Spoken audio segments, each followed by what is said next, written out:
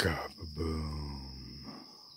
That's what happened. The double barrel of hashish oil exploded over all the aristocratic guests of their landlord, Falcon. Not only that, it started his castle on fire and burned it all down. You know, just a little mud and straw sticking out the side. That's when Hashishan shouted to his entourage, Head for the Caspian Sea! We gotta get out of here fast. Yeah, so these bad boys, uh, yeah, they, they, they make it up to the Caspian Sea coast and uh, cause trouble. In Gorgon, Babu, Karamabad, Raj, uh, smoking lots of hookahs, and um, you know, cutting through the veil. If they could find uh, cut a fun-loving woman out of the pack for a while. Yeah, but don't tell anyone. Well, sunrise finds them exhausted around a samovar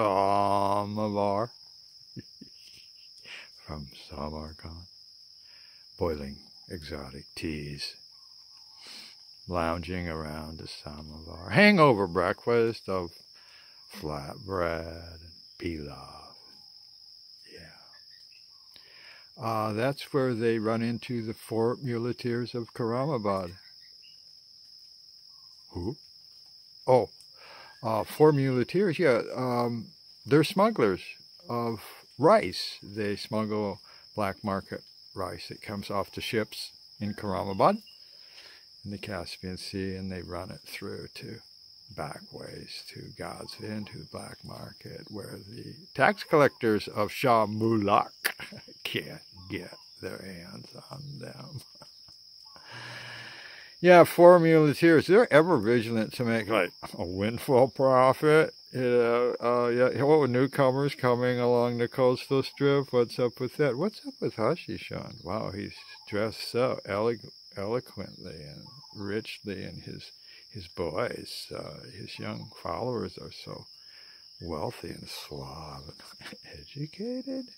Yeah, uh, red-bearded muleteers, Aziz, Ismail, uh, Musa, Abbas, red-handed beard, beak noses. Uh, they tell Hashishan about a secret valley on the other side of the whoa, Shalimbar Pass uh, that is ripe for a kingdom. Mm-hmm.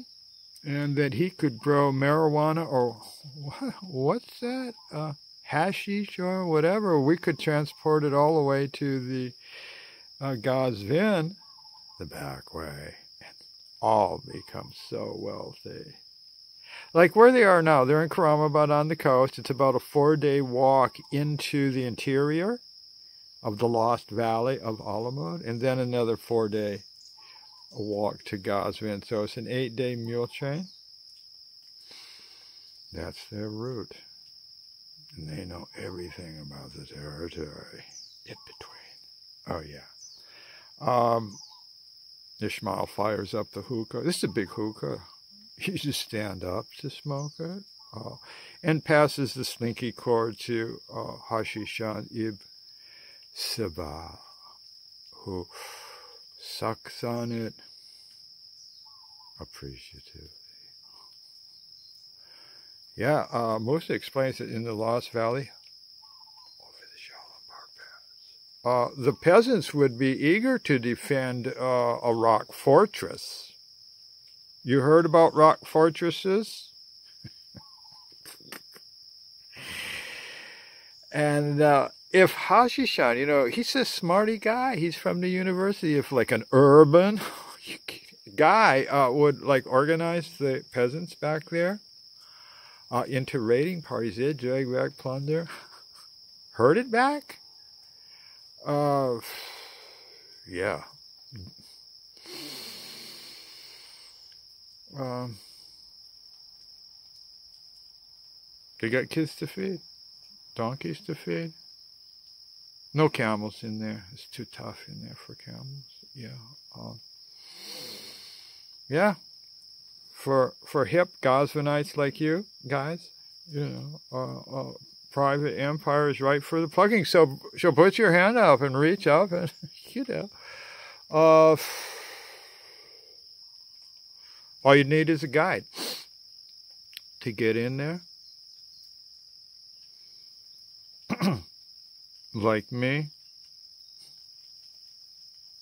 Oh, and my three friends, they, they might be first cousins. I'm not sure. We, you know, we were born on pirate ships. Uh, mom, dad, who's your daddy? Uh, but anyway, uh, yeah, the, the, four of us were just Hashishan likes what he hears from the four muleteers of Black Market Rise from Kam Ramabai. We, uh, yeah, hmm? sounds good. Uh, and thus it was written in 1069 AD. Somebody wrote it down. Uh, why? It's because that's when Hashishan and his followers are guided into the interior by the four muleteers of, of Caspian Rise. Secret back road to Gazvin. Are we all on board here? Going up to Shalombar. Dangerous. Flinty track it is, huh? At Shalombar. Wind Dwarf Junipers. Hmm. At the daunting summit, huh? Well, we better celebrate, huh? Hashishan reckons. So they have, uh, they unsaddle their uh, mules uh, they've traded in their camels for mules because yeah, they're just being stored by a second cousins removed somewhere off a pirate ship. And they unsaddle their concerns at the hookah resting huts on the top. And they blast off. 11th century Persia blasting off on exquisite hookahs to enjoy the view. Because this is the first time you can see really down into the secret valley, the valley of Alamut.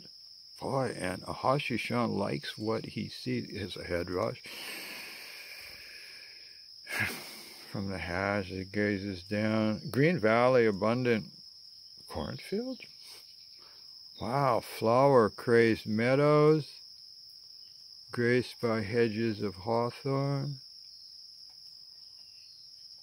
Yeah, Caspian Sea, Mule, Kavansari, and everybody's welcome to come along for the ride. Uh, trekking through villages.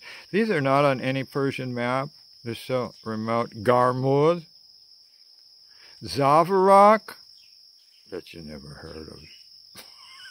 Zavarak. Shutakon. Oh, black oxen plowing rice fields beside rushing mountain rivers. Banks luxuriant with, uh, wow, these must be centuries old sycamore trees, mulberry trees, and uh, well, uh, they've been they've been mule training for four days. They're home for now in Shutarkhan. if you had the book, you'd know where you were. Shutarkhan, yeah, four days from Karamabad, and then you'd have to go another four days to get to Gazvin, the fabulous oasis of Gazvin. Look, Aziz, look, old man, you wanted to be far out. You are far out. uh, this is as far as it gets out here in the backwoods, and uh, there's something three kilometers north of here. Keep keep your mule saddled up because we want to show you something. it's time we got uh like our minds blown in this story, kind of a wake up wow moment. Well, here it comes. Uh, yeah. Uh, Hashi-san's just feeling more and more like he's getting closer to his home. Riding his mule up next to the uh, Kaiser Khan River. And then that's when everybody's neck goes up. Wow. Wow. 600 feet. 200 meters. Vertical rock madness. Insane rock. uh, the baddest rock in Persia. And Hashi-san, straight out of the box, you know, he's going to name it something like, what? The Rock? Well, yeah, and it is a beaut.